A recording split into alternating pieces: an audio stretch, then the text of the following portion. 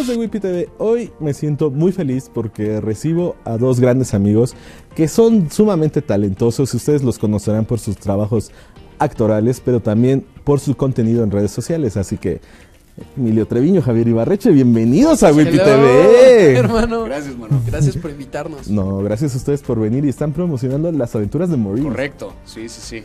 Javier, pues ambos son actores y ¿qué tal sentiste? Pues ahora vamos a doblaje.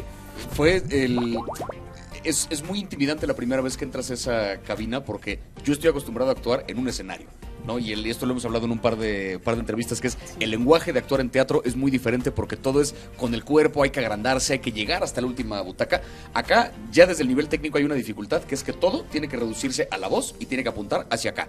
Tienes un micrófono enfrente que tiene que registrar cada pequeño gesto que hiciste, cada cosa que intencionaste con la voz y todo el dibujo que normalmente harías con el cuerpo lo tienes que hacer en una dirección mucho más específica. Entonces de pronto como ese control corporal para aventarlo hacia acá adelante, yo llegué como con, ay, estoy nuevo en esto, no sé qué hacer, porque pues habrás visto mis videos, de repente yo muevo mucho mi teléfono y no soy particularmente organizado a la hora de, a la hora de enfocarme en la cámara. Acá, acá justo como que el reto era de pronto ese a nivel técnico. Pero una vez que te acostumbras como al, al- al modo de operar de la cabina, yo me dejé ir y me fue divertidísimo. Divertidísimo hacer ese personaje. Emilio, tú pues te toca llevar la voz cantante, eres ¿Qué el de más experiencia en eso. eres el de más experiencia en eso. ¿Qué se siente hacer doblaje, Emilio? Se siente muy bonito. No, pero la Me verdad- reporto. La verdad, hablando con Gaby, con Javier y con Rockstar, dicen, es que tener a Emilio era como tener a alguien que era tu cómplice en el momento de grabar. No, pues a ver, eh, también para mí grabar con ellos es un honor. Eh, yo eh, a los tres los admiro mucho con sus respectivas carreras y con lo que han hecho y me parece súper valioso el que hayan llegado también hasta donde están. Entonces también de este lado pues sí era intimidante un poco también como de, ay, tengo que hacerlo bien porque ni modo que el vato que lleva 19 años en doblaje sea el que se escuche mal, ¿no? O sea, es como, creo que sí hay obviamente esa presión, pero nada, siempre es muy bonito justo poder contar historias y, y cada historia te enseña algo distinto y cada historia tiene algún reto distinto. Creo que Javi no me dejará mentir porque también su personaje creo que aparte es el que más lo explota. Hacer una película digamos que para niños familiar, eh, lo más complicado es que no lo puedes dar por sentado todo ni por hecho. Claro. Tienes que divertirte el doble, tienes que, eh, si tú te diviertes de ese lado, los niños y la gente y todos los que estén en el cine se divierten en la sala contigo. Si tú estás así muriéndote en la sala de nervios, muriéndote de cohibido de, ay no, me están escuchando, los del cine es como de, bueno, vamos por palomitas o Se qué hacemos, se se van se, se, Sí, que se eso, si normalmente intencionas hasta acá, en una película justamente infantil tiene que ser por lo menos el triple. Porque, digamos, Sí. para que la emoción pase, para que solamente con la voz entiendan el enojo, la tristeza, la frustración, lo que sea, tiene que haber como un dibujo más caricaturesco, digamos, más entre comillas Sí. exagerado de la emoción, para que pase justamente para un público infantil. Que al menos la respuesta de la premier creo que fue positiva, ¿no? O Muy sea, cool, yo los estaba morros viendo- estaban muertos de la risa ahí en la sala de cine. Yo dije, se logró. Sí, Justo, se los logró. niños, los niños, yo no, yo estaba súper nervioso. Los niños son el público más exigente. Sí. O sea, ellos no tienen filtro para decirte, qué bonito, gracias por invitarme, ¿no? El niño es como de, mamá, ya me quiero ir, ¿no? Mamá. ¿Por qué Y estuvo el- aburrida tu pelea? Exacto. Uy, ¿no? Ah, po- Oye, suena raro, ¿no? Este, pero no, justo me sorprendió mucho ver a todos los niños en la sala súper metidos con la película y también a los adultos dos que tres veces en la película riéndose Sí. de que también tiene contenido para toda la familia. Y, y yo creo que cuando lo observas, o sea, la película, yo cuando voy a ver una película que grabé, sí, o sea, obviamente veo la peli, pero sobre todo la peli para mí pasa en los ojos del espectador. Siempre estoy así como viendo qué está pasando, ¿no? Cómo lo están recibiendo. Y en la Eso premier me sorprendió mucho. y me sorprendió mucho que la gente salió muy contenta de la película, muy, muy divertida y, y nada, pues ese es el trabajo, creo. La verdad se notó y un gran trabajo de calidad, los que ya tuvimos oportunidad de verla. Y si no, vayan a salas de cine, en verdad. Este, Y es- sí, a eso vinimos. es- a a eso venimos. Ah, sí, claro, estamos platicando a con amigos. de las tres cámaras. aquí. A ver, no estamos platicando de a gratis. No, o no, sea, no, no, no. vayan a ver la película, vayan a ver la película, vayan a ver la película, ¿ok? Este, Javier, bueno, pues tú eh, desde el principio y hasta cantado y todo desde el principio. eso, eso estuvo chistoso porque cantado entre comillas. O sea, lo cierto es que no, no me tocó este. No me tocó entonar, es algo muy complicado, sí, sí. fue más bien como hablar con ritmito. Eso fue lo último que grabamos de la película, que curiosamente es lo primero que dice mi personaje. Justo porque la directora de doblaje, sabiendo que yo entré a este proyecto, sí con experiencia como actor, pero no como actor de, de doblaje, bueno, no tantísima, eh, procuró que empezáramos grabando los diálogos, o sea, como en orden de la película, para que fuera yo viendo la historia, para que me fuera acostumbrando al personaje. Terminando de grabar el último bloque, volvimos a grabar la primera parte, porque me dijo, date cuenta de la diferencia de cómo empezaste grabando, cómo terminaste, cómo te fuiste soltando conforme avanzaron los, los llamados, porque de pronto empezaste a jugar con el personaje, empezaste de verdad a divertirte, cambió tu tono de voz en el momento que empezaste a jugar. Entonces volvimos a hacer la primera parte ya como con esta voz que había encontrado para, para Maurice, y al final hicimos la parte de la canción, que yo me divertí mucho porque parte de mi problema tiene que ver con que, no sé si lo habrán notado, hablo un poco rápido. Ah, Eh, ¿en a veces. Y este... no se ha notado. Y entonces, a la hora de hacer doblaje, uno de los retos justamente es que la frase quepa exactamente en la duración del movimiento de la boca del personaje. De pronto la intención estaba, la expresión estaba, todo funcionaba, solo me decían muy rápido, va otra vez. Y yo, perdón. Y va de nuevo otra vez la frase como obligándome a hacerla más lento para que cupiera. La canción, pues como lleva un ritmo muy específico, no tuve esa bronca. Porque entonces vas acompañando la música y es como de, bueno, yo por mí hubiera cantado la película completa. Así, vámonos fácil. Em, pues también vimos eh, que estás acompañado de grandes amigas, digo, Gaby lo es para ti. Sí. ¿Cómo se sentiste de trabajar también? Súper emocionado cuando, cuando me dijeron, el- el- los dos personajes con los que más interactúa Kid, que es mi personaje, es con Maurice al inicio de la película, que es con Javi, y en la segunda parte de- del segundo acto es con, con Malicia, que es el personaje de Gaby Mesa. Y Gaby pues es una, es una de mis mejores amigas desde hace muchísimos años, entonces también es muy bonito porque la realidad es que ya lo comprobamos que en doblaje también hay química entre actores. Hay voces que machan y que se siente que tienen una química y que suenan muy bien juntas aunque se grabaron por separado y hay voces que dices, no, esto no suena muy bien, no, no macha muy bien. Y fue muy bonito porque esa amistad, tanto que yo tengo con Javi o con Gaby, se escucha en pantalla, se escucha esta naturalidad de, de hablarnos, porque también cuando te enteras quién va a ser, eh, aunque no estés grabando con esa persona, hay una cosa en tu mente que reemplazas al otro personaje por, por quien está detrás, ¿no? Entonces, eh, de repente con el gato veía a Javi y también, por ejemplo, Javi es una persona que tiene una energía fuerte, entonces, igual, pues nada más tuve que ser normal, a mí me pone igual de nervioso, entonces era como, sí, Javi, no, vamos Y aparte sí hay dos, tres momentos donde Maurice sí se suelta con...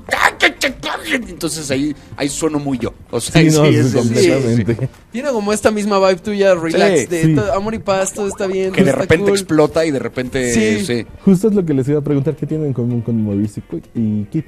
Eh, ahí con, con Maurice eh, al principio me costó como encontrar eso porque yo decía, a mí, yo para empezar soy alérgico a los gatos. O sea, muy ligeramente, pero me costaba trabajo como el, bueno, voy a ser un gato, pero pues no convivo tanto con gatos precisamente porque soy alérgico. Entonces, según yo no me iba a relacionar para nada. Conforme empezó a avanzar eh, la grabación, de repente me di cuenta que hay como una energía justo de, de llegar a un lugar y decir, calma, hay peligro afuera, sí, pero sentémonos a comer. Que yo respeto mucho del personaje que digo, sí soy. O sea, esta idea de hay mil cosas que resolver, pero tengo la oportunidad de no hacer ninguna y sentarme a comer, hagamos eso. To- Como que me identifico mucho con Ese, esa... ese fue Javi hasta en los junkets. Era como, es, esperen, dos Sí, segundos. Perdón, voy a... Yomi, yomi. Sí, sí, sí. Listo, eh, continuamos. Dando una mordida a mi cuernito entre... Exacto, ya, ahora sí, entrevista. listo. Este, como que creo que me identifico mucho con esa parte de, de Maurice. Y era muy lindo estos momentos donde el personaje pasa de tener esta vibra calmada, como de superioridad, que es muy característica de un gato, ¿no? Que como que asume que merece la atención y el cariño, cuando de repente le llegaba una noticia que lo sacaba un poquito de su zona de confort y explotaba y la voz le cambiaba radicalmente. Tuve chance justo de jugar como con estos gritos y con estas que disfruto mucho hacer en una cabina y disfruto mucho hacer frente a mi teléfono. Fue muy divertido poder dárselas a un personaje. Qué padre. Pues justo creo que, mira, Kid no es una persona tan relajada, es una persona sumamente ansiosa, igual que yo. Entonces, ajá, justo era- en el junket se notó. Era como Javi, era como de "Mm, mordida a mi cornito. Y yo era como de, ¿puedo darle una mordida a mi cornito? Yo creo que sí, soy igual que Kid en esta parte ansiosa y también. Creo que algo que me gustó mucho es que es una persona que también confía mucho en sus amigos y como que trata también de, de aprenderles cosas. O sea, cuando está con Maurice es como de sigue el plan de Maurice de alguna manera, pero también como que todo el tiempo está observando todo.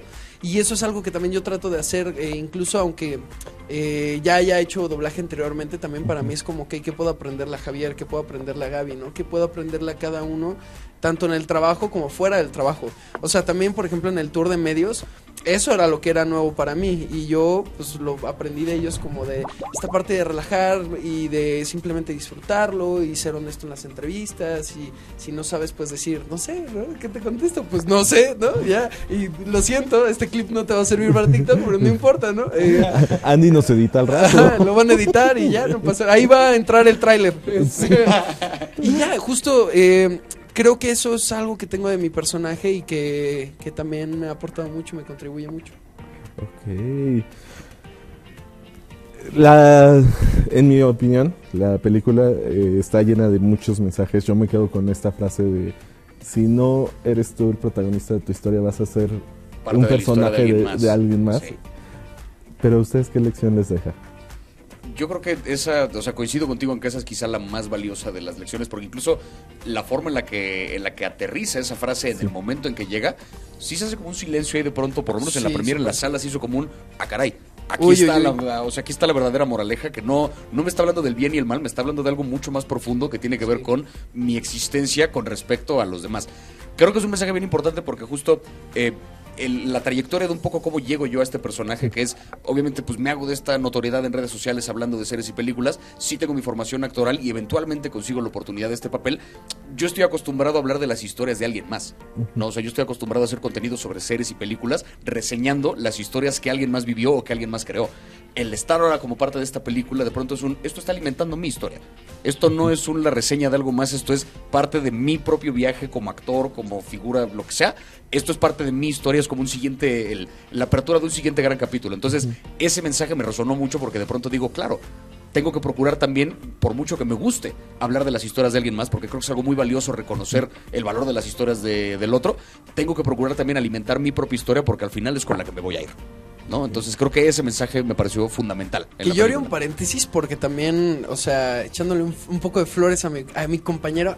No era pero- para eso, no te puse un pase así de... Pero, Pero gracias. No, pero, Pero gracias. pero también es interesante porque algo que eh, descubrí ahora con, con esta cuestión de me decían de los creadores de contenido y, y quiénes son artistas y quiénes, y quiénes no, lo que sea, todo este rollo de controversia que hay en redes, también me parece que hay una parte artística en lo que hacen y también, o sea, por ejemplo, la forma de Gaby o de Javier eh, de contar las historias de los demás, la hacen, es como... eh, te la venden tan bien, se emocionan con eso que la hacen suya. Te venden una historia que les gustó tanto que se vuelve suya y entonces la comparten. Entonces, de alguna manera están compartiendo también su historia. Así que, pues eso. de algún modo. De algún modo, Sí. de algún modo. Yo creo, yo opino. Yo creo que sí, pero pues, digo, esta es como una evolución, digamos, en ese sentido, porque pues ya una cosa es hablar de una película que alguien más hizo y otra cosa es hablar de una película en la Que alguien más hizo. O sea, esto ya, ya hay una diferencia, ¿no? En el... Ya hay cariñitas. Ya hay un cariño diferente que le tengo a la película y hay una relación diferente. Va a ser la reseña menos objetiva que he hecho en mi vida. Eso sépanlo de una vez cuando hablo de la película. Porque todos están esperando tu reseña. Claro, no, sí. claro, o ¿Qué sea. creen que voy a decir? Como, la verdad la película está... No, está No, increíble. O sea, yo... Ni, así. No tienen idea de esta película. No, la mejor película de la historia. O sea, no tienen idea así...